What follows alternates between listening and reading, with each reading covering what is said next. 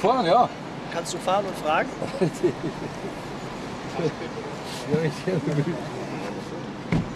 Das. Hat ja dieses tolle Ding angeblich was verhindert. Dass der Winter reinkommt.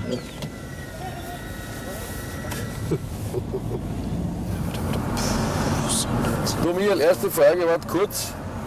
Da gibt es ja so einen Knopf hier für dieses Windding da, da weißt Da gibt es eine Werbung mit dem Hund, den, wo die Ohren so flattern.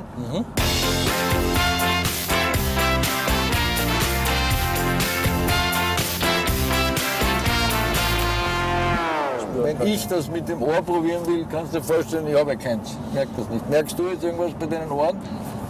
Ich habe jetzt auch keine Segelohren, deswegen merke ich jetzt auch nicht sehr viel. Also ich aber- merke nichts. Aber ich bin mir ziemlich sicher, dass das äh, sehr deutlich zu spüren wird, wenn wir gleich auf der Autobahn sind. Gut, dann werden wir es später probieren. Jetzt gibt es ja schon wieder Idioten, das habe ich heute gehört, wo ich mich ja vehementest wehren muss, die sagen, jetzt haben sie das Auto für den Michael so umgebaut, dass er fahren kann, jetzt kann der andere nicht. Da habe ich gesagt, das ist ein Riesenblödsinn.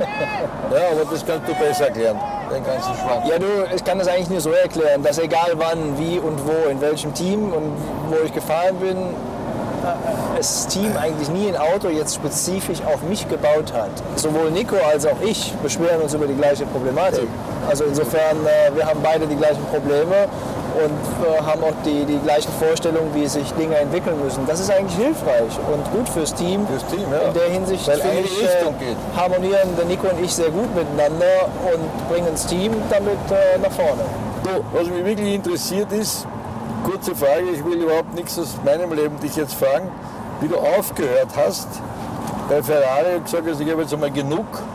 Was war damals der Grund oder was war die, die Motivation, ist zu sagen, ich will jetzt nicht mehr? Die Motivation war einfach, dass keine Motivation mehr da war, um weitermachen zu wollen. Weil es gab nichts mehr, was ich erreichen konnte. Es hat nicht mehr so viel Spaß gemacht. Es war natürlich auch immer so ein Drumherum, äh, was einen nach all den Jahren ein bisschen müde macht und zermürbt. Genau. Was, was da so an, an Umfeld. Äh, dem nicht- Rennauto, Ja, genau. eben. Da geht es jetzt nicht nur um die Medien, da geht es um das Testen, da geht es um Verreisen, da geht es um alle möglichen äh, äh, Dinge. Natürlich auch die Medien, natürlich auch äh, unangenehme Umstände manchmal.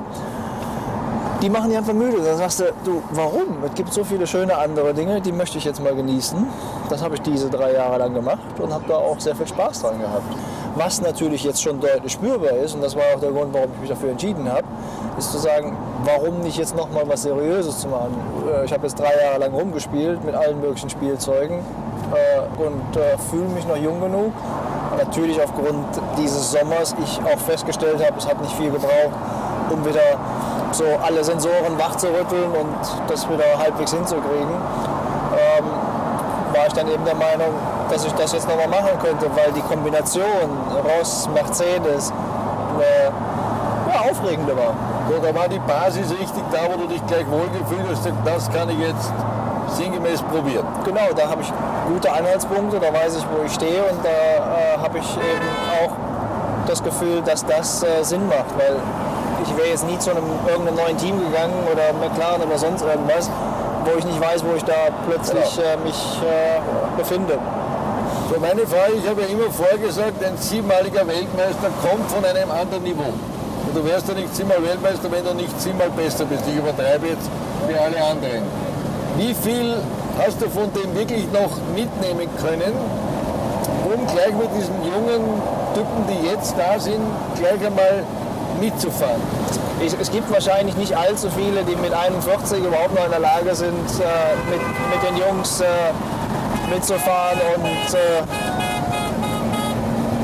und überhaupt noch wettbewerbsfähig zu sein. Ich glaube, dass ich das nach wie vor von mir sagen kann.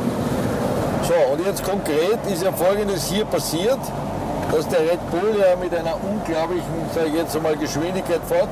Wenn du jetzt hinter denen nachfährst oder, oder die irgendwie vergleichst, Habe ich nicht geschafft. wo glaubst du, sind die stärker wie dein Auto? Das Sie Gesamtpaket sind, wahrscheinlich. ja, es ist immer ein Gesamtpaket. Das ist, immer, ist nicht eine Sache alleine. Aber es ist schon hauptsächlich die, die Aerodynamik, die bei Red Bull extrem gut funktioniert. Äh, Das sind schnelle und mittelschnelle Kurven. Da sind sie extrem stark im Verhältnis. Der Sebastian und, und der Marc, die holen natürlich auch das Optimum raus aus diesem Auto. Muss man ja auch mal sagen. Ist ja nicht nur, dass das Auto toll ist, sondern die Jungs, die fahren ja, auch noch eben dementsprechend. Es nochmal zu sagen, also ich finde es schon angenehm mit dem Ding da oben. Du bist zwar, bist zwar ziemlich langsam gefahren.